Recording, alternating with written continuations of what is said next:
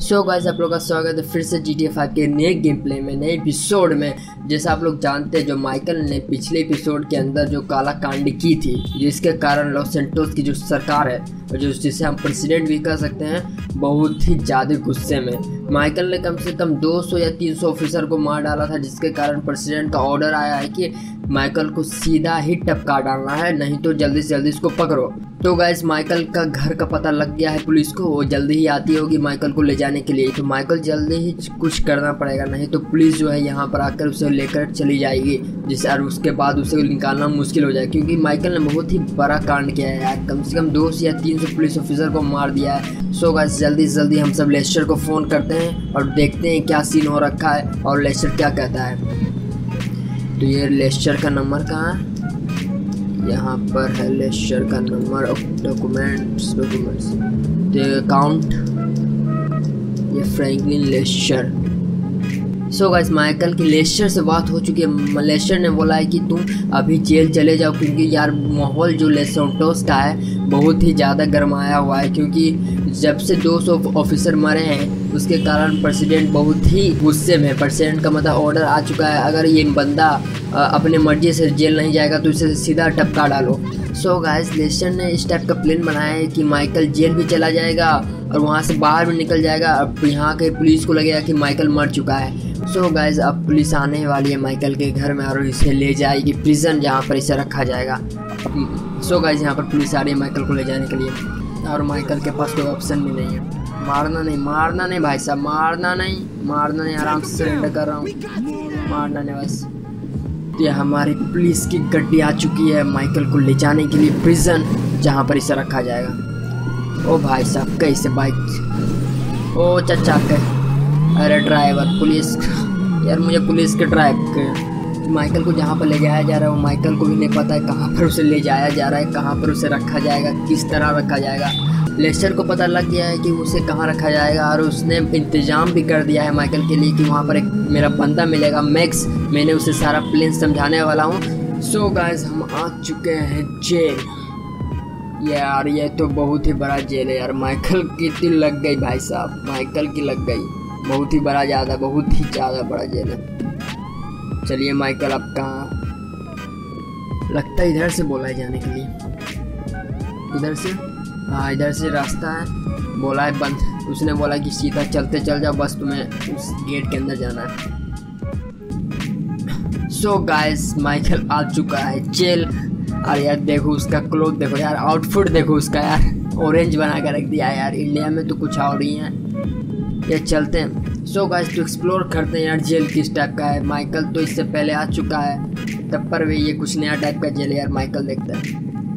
चलो कुछ बंदे से बात करते हैं।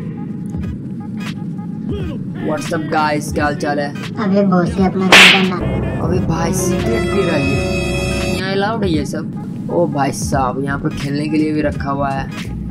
इधर साइड है। और ये क्या है? ये क्या ओ यहाँ पर लगता है यहाँ बास्केटबॉल होता होगा तो यहाँ पर बैठ के लोग देखते होंगे। यहाँ पर जिम नहीं है क्या? सो गाइस हम सबको मिल चुका है जिम जहाँ पर सारे बंदे अपने डोले सोले बनाते हैं। तो माइकल को भी बनाना चाहिए यार। तो चलो माइकल, आज तुम्हारी कुछ कसरत करते हैं। यार एंट्री कहाँ से होता है? इसके अंदर। ओ भाई साहब, कितने किलो के डोले? यहाँ पर मतलब भाई यार मतलब जेल देखो यार, जेल। बंदे लोग को यहाँ पर जो क्रिमिनल्स आते हैं, जितने सारे, जितने भी क्रिमिनल्स आते हैं, उनके जितने भी क्रिमिनल्स आते हैं यहाँ पर लॉस सेंटोस की पुलिस जो लाती है इस प्रिजन के अंदर, सालों ने यहाँ पर उनके लिए जिम खोल के रखा है। कितने बड़े बेवकूफ़ हैं। उनको पता नहीं है क्रिमिनल उनकी बाद में बड़ी ज़ोर से बजाते हैं। तो यहाँ से ऊपर जा सकते हैं। तो चलते हैं यार ऊपर तो चल ही सकते। चलो चलो। देखते यार कैसा व्यू हो रखा है ऊपर में। यहाँ देख रहे हो यार, कितनी बड़ी बाउंड्री खरीद कर रखी है इन लॉस सेंटोस वाली पुलिस ने। बहुत ही ज़्यादा बड़ी है यार। भागना यहाँ से मुश्किल है, लेकिन जो भी बोलो, भागना बहुत ही ज़्यादा मुश्किल हो जाएगा माइकल के लिए। माइकल को यार नीचे चलते हैं सो गाइस चलते यार मैक्स को ढूँढने। कहाँ पर लेस्टर ने बोला है कि उस बंदे का नाम मैक्स है यार। और सबसे चलते उसे मैक्स को ढूंढना भी यार ने तो माइकल एक एक बंदे से जाकर पूछना पड़ेगा यार, मैक्स से यार you are Max you are Max so guys यार मैक्स को पहचानते हो? अबे जानते हो मैक्स को? पूछ। ओ भाई, वो स... अबे तेरे से पंगा लिया मैंने। अबे तेरे, तू खुदा करा है बे? तेरे से मैंने लिया। शांत शांत।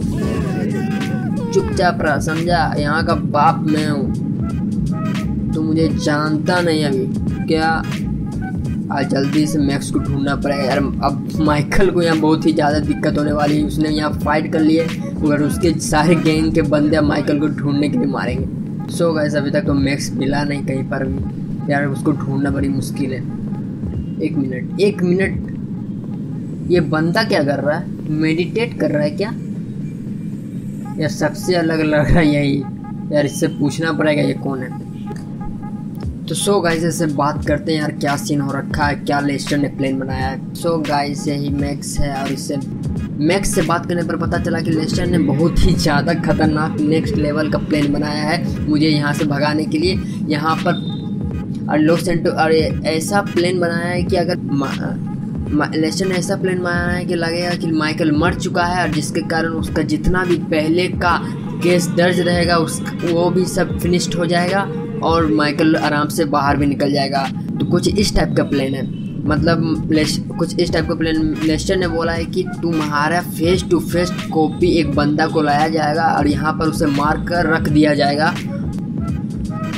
तो सो गाइस जो तो सो गाइस जो माइकल का डुप्लीकेट है, उस टेरिस के ऊपर है। ऐसा लगना चाहिए कि माइकल जो है, भागने की कोशिश कर रहा था। उसमें उसको गोली मार के मार दिया गया।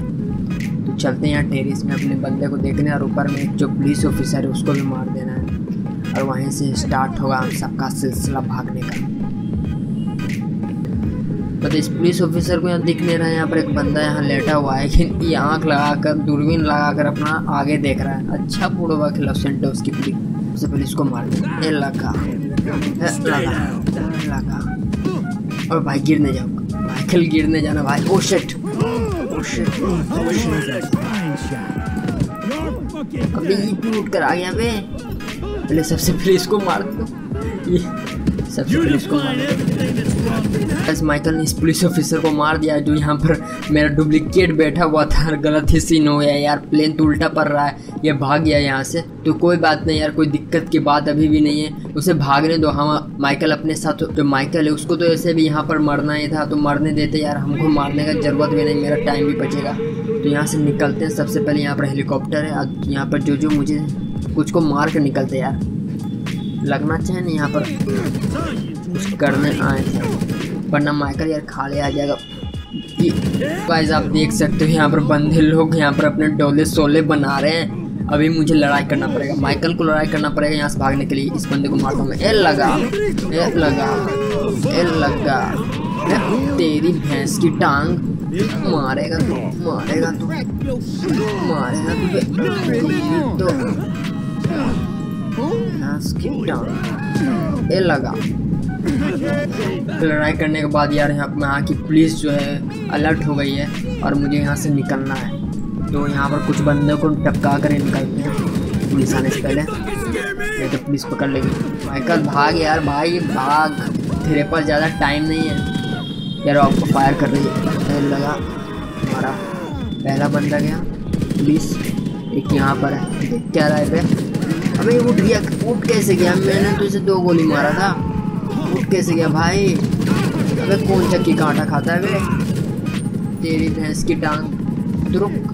अब यहाँ चौपर इस जगह, चौपर यहाँ पर लगा कहीं, यहीं पर। सो गैस हमको मिल चुका है चौपर, जिससे हम माइकल भागने वाला है।